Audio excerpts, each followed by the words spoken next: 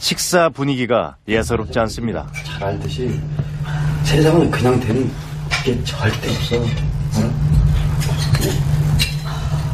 지금 아빠 와 있으면 뭐 잠도 좀 더 자고 싶고, 어?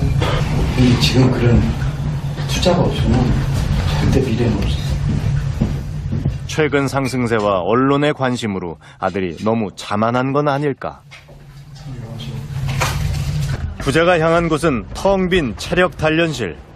팀 훈련 외에도 아버지는 항상 이렇게 아들과 따로 운동을 합니다.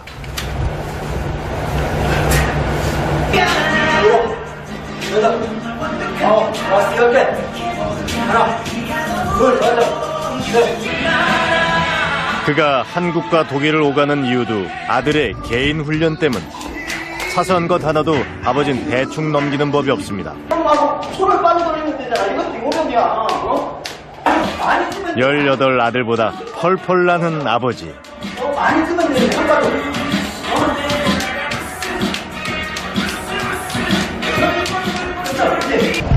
제가 이렇게 같이 하니까 흥미가 제가 힘들어도 좀 이겨내고 만약에 제가 말로만 하면 흥민이도 힘들 땐 좀 짜증이 나겠죠.